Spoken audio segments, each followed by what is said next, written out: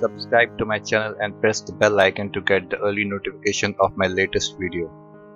Hello and welcome back. In today's video we will know about DirectX and how can we check it in our Windows operating system.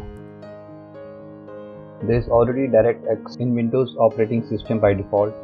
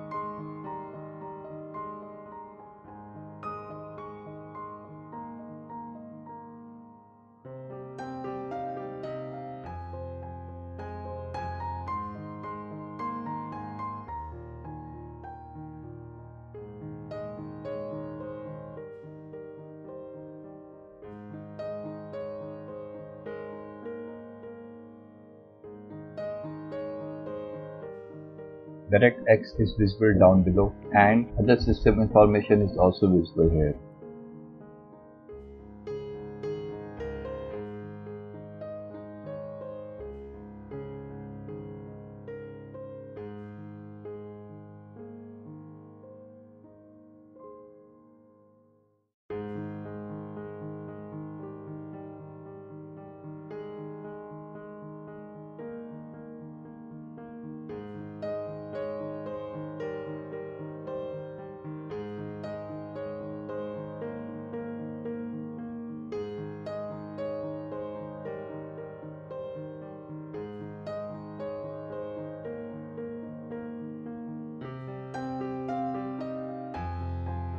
Hope you liked this video then do share like and comment and do subscribe to get notification of more such videos.